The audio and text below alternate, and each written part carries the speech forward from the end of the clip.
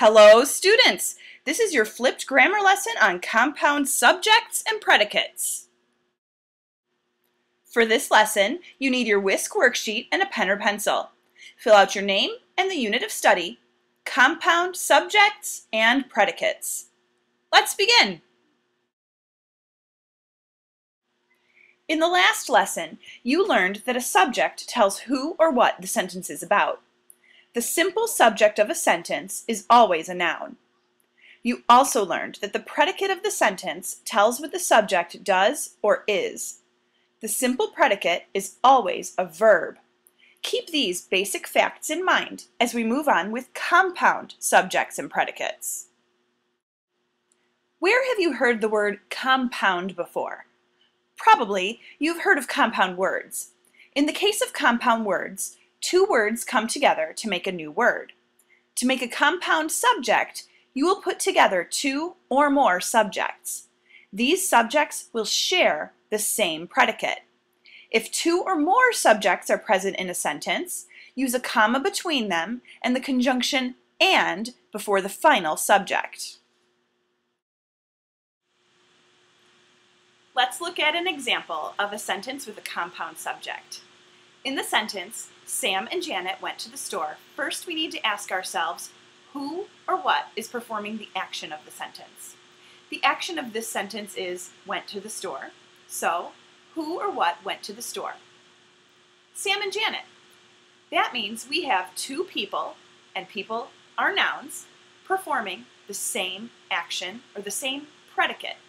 That makes them, Sam and Janet, the compound subject of the sentence.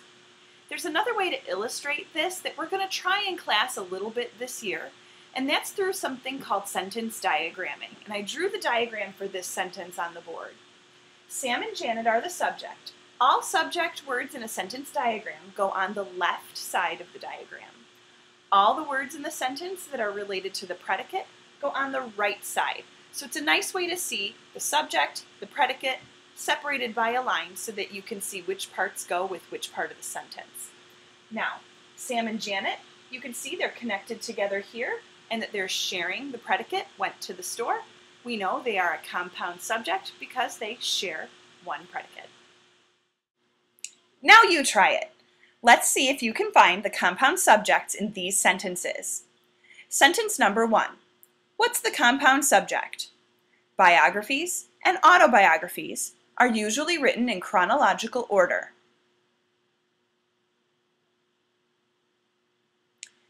Biographies and autobiographies is the compound subject of this sentence.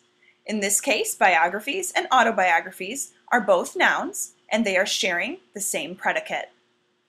Let's try the second one. Wilbur and Orville Wright tested over 200 different wing shapes. What is the compound subject of this sentence?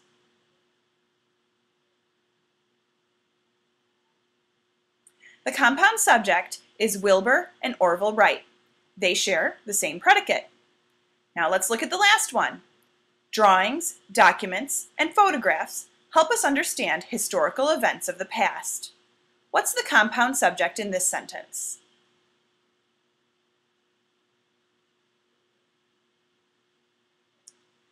This sentence has three subjects, drawings, documents, and photographs. You have to have two or more subjects for it to be considered a compound subject. And in this case, since there are three or more, we separated them with commas, and before the final subject, we added the conjunction add, and. Next, let's take a look at compound predicates. To make a compound predicate, you will put together two or more predicates. You can use and or but to connect them. Remember that a simple predicate is a verb. These predicates will share the same subject. If there are three or more predicates, put commas in between them. The conjunction and or but should go before the last one. Next, let's look at an example of a sentence with a compound predicate. In this sentence, Simon loved the book but hated the movie. We need to ask ourselves who or what performed the action. Well, there are two actions in the sentence, and they're both being performed by Simon. So Simon is the subject of the sentence. The simple predicate or in this case simple predicates, of the sentence are always verbs. The two verbs in our sentence are loved and hated. On the sentence diagram, we can see in a more illustrative way that those two predicates are being shared by the same subject. Loved is written on the top line, hated on the bottom. Simon performed both of those actions. Since the compound predicate shares the same subject, we know that it is a compound predicate. Now you try it. Can you find the compound predicates in these sentences? Let's look at sentence number one. The Wright brothers designed engines and built gliders in their workshop. What is the compound predicate in this sentence?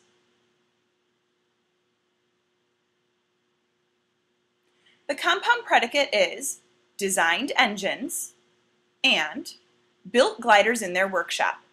This sentence has two simple predicates, or verbs, which are designed and built.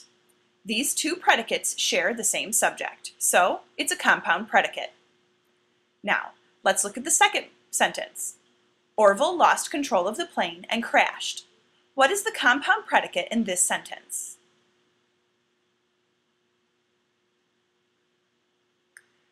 The two predicates in this sentence are lost control of the plane and crashed.